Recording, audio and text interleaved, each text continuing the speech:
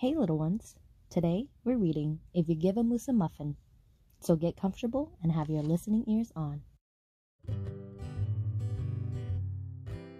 If you give a moose a muffin,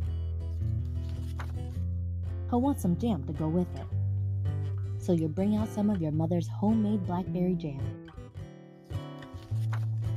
When he's finished eating the muffin, he'll want another, and another, and another. When they're all gone, he'll ask you to make more.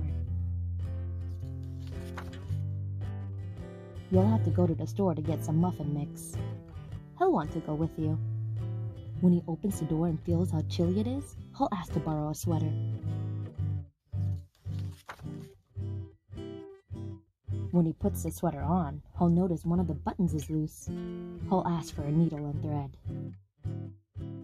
He'll start sewing. The button will remind him of the puppets his grandmother used to make. So he'll ask for some old socks. He'll make sock puppets.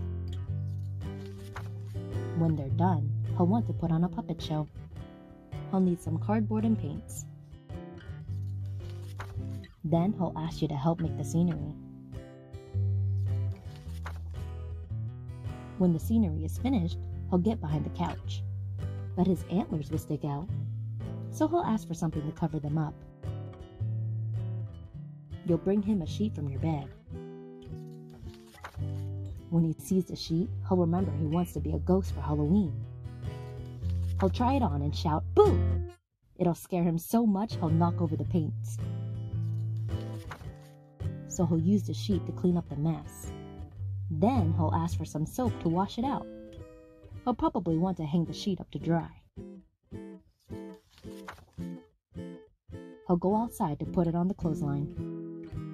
When he's out in the yard, he'll see your mother's blackberry bushes. Seeing the blackberries will remind him of her jam. He'll probably ask you for some. And chances are, if you give him the jam, he'll want a muffin to go with it. The end.